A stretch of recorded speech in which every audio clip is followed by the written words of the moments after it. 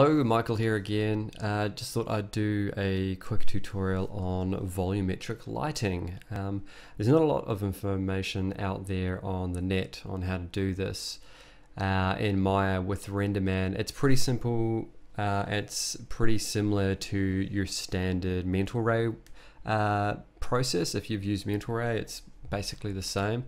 Um, but if this is your first time rendering, um, this might be a good place to start and I'll give you some tips on how to sort of set up a scene uh, with some lights and stuff and do some cool stuff while you're at it. So you've got a cool looking character. Uh, this character is pretty cool looking. Um, this is not the best. There you can see some things are going terribly wrong with this particular mesh.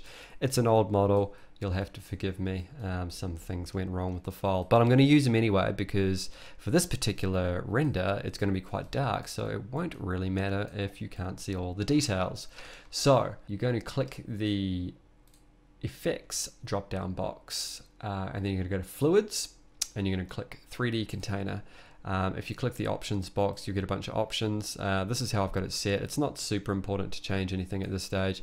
10 by 10 by 10 is just the resolution of, uh, so but essentially like the density of the fluids, in this case, the volume of um, what we're going to essentially be calling fog uh, for this particular example. So 10 by 10 by 10 is fine, and then X, Y, and Z, um, it's going to be resized anyway, but 5 by 5 by 5 works. So we'll click apply, we'll close that. Um, so yeah, so essentially the goal is to get this box big enough to fit this fella inside of it. So we're just going to hit R to resize, bring it up, and that's cool. I'm actually going to move this around a little bit throughout the tutorial and I'll explain why um, in a moment. But for as it is, this is probably just about right. I just want to get it so the camera doesn't get the um, outside of the of the um, box there because you'll see it in the render. You'll see the the cut off where the where the fog stops essentially. Um, you'll see that I've got a couple of lights set up here already. These are a couple of spots. I'll get into that in a moment. So don't worry about that for this um, part. Uh, we're just going to get set up here real quick with some fog. So uh, you got your fluid selected, you go to your attribute ed editor, um, and you come down to contents method. You're going to change this to gradient, and then you'll see straight away that you get yourself a big old white box full of fluff. Um, in the density gradient, um, you could just use constant, uh, constant, but for this example, I'm going to make it a Y gradient, so it's going to make it more dense at the bottom um, and thinner towards the top. And this is kind of useful because uh, you can actually use it, um, like you can lower the density in, in the shot just by moving it up and down. So if you want to adjust at the bottom, like he's just walking through like a scary foggy cemetery, it's just there. Or he's coming out like a really foggy sort of, I don't know, mall, who knows, wherever you want him to be. So we've got our, um, we've got our guy, we've got a couple of lights set up, which I'll go into those settings in a second. Um, so I'm just going to click render. Uh, before I do, I will warn you that your renders are going to take a long time when you're rendering uh, volumetric lighting just because it, there's a lot of data in here that's getting hit by light and it takes a little while for it to compute. So let's hit render and let's see what we get. Okay, so as you can see, you're not getting a lot. Um, this is because, I'm just going to change this view actually to sRGB. So you see you're actually getting even less when you've got on sRGB. Um, now the reason for this is that the density of the volume um, is too high. Um, and you can see even in the preview that it's quite high. And there's a couple of ways you can fix this. Um, the quick and cheap way is just to whoop, is just to grab the thing that you actually want to grab, which is this guy here. Just move it back so there's less space between um, him, your model, and the edge of the box.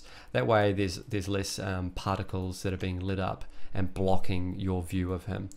Um, now this might not always work for your particular uh, situation. This is like a pretty basic render. There's not a lot of stuff going on. I haven't built up an environment or anything like that. So um, this may not work for you. But this is one way to sort of think about it as well. If you want to have it quite dense, so the background's obscured, but um, you're still getting like a pretty good look at your character, this is one way to cheat it. But the better way to do it um, is you go down to contents detail and density. Um, this is where you can play with the, the density of the, the, the volume um, primitive. So it's on 0.5 at the moment, and obviously that's quite high. If you bring it up, it's going to make it almost completely opaque and make your renders take even longer. Um, and then if you bring it down to zero, obviously you won't be able to see it. So um, I think when I was testing this, I just used 0.1. I'm actually going to move this forward a little bit as well, just so I get a little bit more in. Um, and then we'll give this guy another render, just line the camera up a little bit, and actually, hot tip, um, make a quick camera bookmark. There you go. Um, and then we'll click render, and we'll see how he looks now. Okay, so um, yeah, at like a pretty low sample rate, that took about a minute, minute and a half to render. Um, and we're getting a little bit better there. Um, you're getting some of that nice sort of fall off in the shadows um, in the atmosphere there, which is sort of like if you're looking for those God rays, sort of like lighting setups, this is what you're looking for these nice shadows being cast in the atmosphere on the opposite side of the light. Um, spotlights are obviously the, like one of the better light sources to use. If you're just using a standard area light, um, it's going to just light up the whole scene basically, and you're not going to get this nice cut on the edge of um, that uh, of, of the light source. Um, so I'll get into lighting in a second, um, but I just want to point out that obviously I'm still not getting a ton of information there. Um, so I could actually add in some more lights or just turn the lights around or whatever. But I'm going to leave this up to you to play with um, so you can sort of just play and figure out how you want to light your scene, how you want to do your guy. But um, if you're looking to do something kind of spooky with just a limited bit of lighting, this is a pretty good place to start. And you can see it's quite effective. You get some nice contrast in there as well.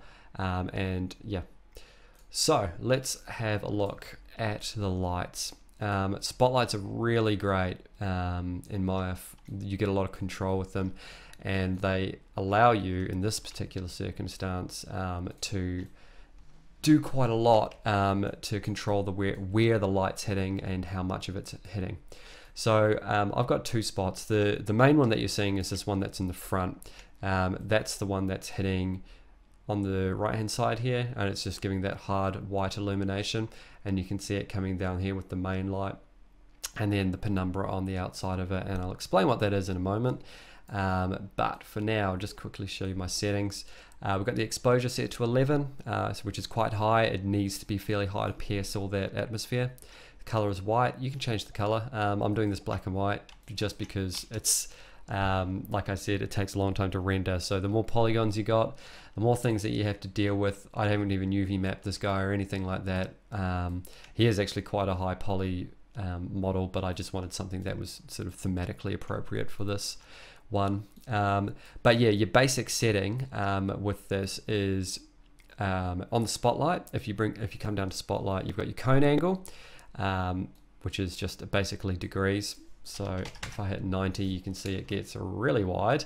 Um, and if I hit something like 20, um, you can see it actually affects the way it looks. Um, there's like an actual model of the spotlight, which is really cool for visualization. Uh, gives you an idea of where you're pointing and stuff as well, and just sort of a, a rough idea of like how wide, how wide an angle of the light um, your model is going to be receiving. So this front one is fairly narrow. Um, it's just set to 10 and the penumbra angle is set to 10 as well. So the, um, the umbra is the main source of light coming from the the spotlight. So um, this hard white light coming out here, this is the umbra. Um, and then on the outside of that, there's a dimmer sort of light, and that's actually the light bouncing off the inside of the cone and then being shot out. And that's called the penumbra. Um, so if those angles in Maya are the same, then you won't see um, the penumbra. Um, if you raise that to say 15 degrees, you'll see the penumbra outside of the umbra. Um, but for now, that's not super important. So um, this for this front light, I just actually wanted, um, I just wanted this basically this main light with with not too much penumbra. Um, and then on this backlight, um, I'm using this as a fill light basically. It's got a it's got a wide cone angle and no penumbra essentially um, and it's slightly uh, less bright and you can see it's just hitting the back side of him uh, to illuminate that and give me some more information on the model. Um, because this guy's got a big spiky back. So I wanted to get some of that silhouette in there as well. This is obviously not the best composition ever, uh, but just for as, as an example, um, to sort of get you going, I thought it would be a good one. Um, I'll also talk about another render that I've done using a different technique. Okay, so here is a scene that I've rendered a couple of weeks ago. Um, it's obviously a much more complex scene. I've set up actually an actual environment. Um, you see that I've got some fog on the floor and then I've got these light rays coming through the window. Um, I did something slightly different here. You can see I've got a lot of lights in this um, in this render as well. Um, it's a little bit more complicated and I needed to touch some things up so I sort of had to fake the light a little bit. Um, but what I've done here is I've got this um, I've got this sort of like dungeon sort of thing happening um, and I've got these sort of cell windows with some light filtering through um, and I'll show you the render now. So you can see the light filtering through the windows. It's sort of broken up um, as it's hitting the bars but it's lighting up this sort of atmosphere now, if you come back to the project, you'll see that I actually haven't filled the entire scene with atmosphere. There's only like a, little atmosphere on the floor, and then there's just streaks of light coming through the window. Um, so I've sort of cheated it a little bit, and I'll show you how I've done it. Um, and this is a good little trick that I sort of figured out. So when you're creating a fluid container, uh, if you get an example and you go to fluid, it will bring up um, a bunch of different examples and you want to go to cloud and fog and you want to use uh, rolling fog and if you import that in just by right clicking and clicking import file it will give you a new object which is this. Um, now straight off the bat oops straight off the bat you'll see that you've got this blue stuff and you may not want that. That's pretty easy to get rid of. You just click on it and you click delete, done, easy as that. Now you're stuck with this sort of smoky fog, which I'm trying desperately, desperately to select. Uh, here we go. So let's move this up for a second. So you'll see that this isn't quite these light rays that I've got coming through here, but with a very simple transformation, um, we'll just scale that down a little bit and then stretch it out.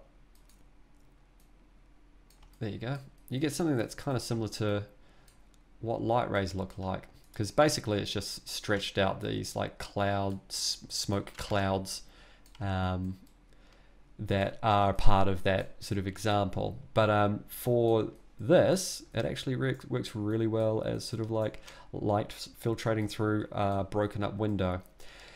So yeah, um, now I'm cheating atmosphere here as well as something to keep keep in mind because of the way I wanted to light this it would have been too difficult and too and too like render heavy to have everything lit up um, and um, with within one atmosphere just filling up the entire space.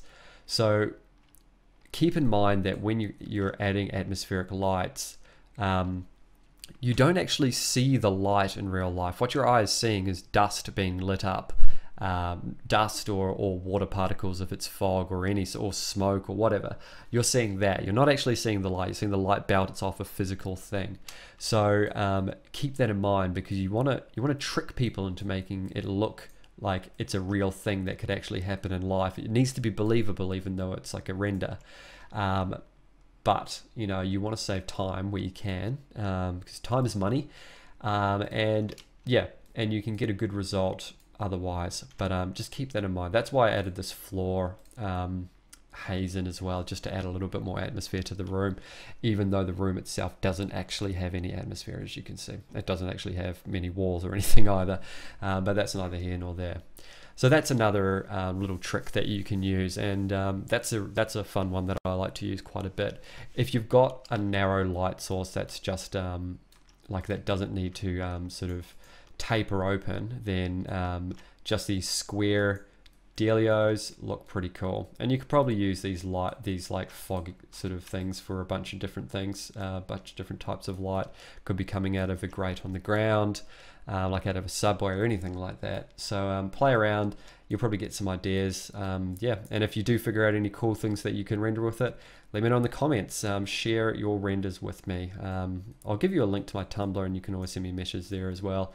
Um, but yeah, I'd be I'd be really stoked to see anything that anyone has learned um, and put into practice from these tutorials. So yeah, Uh, if you liked the tutorial, hit like so other people see it. That would be super cool. Um, I would be doing more tutorials in the future because I think they're super handy and um, I really like being able to help people out that are you know trying to learn Maya and trying to learn RenderMan. So um, if there's anything that you see that I've done in any of these videos and you're like, I'm not quite sure how you did that, ask me and I'll try and explain it. And if I can't, I'll just straight up make a tutorial. So yeah, I hope you like this one and I will catch you next time.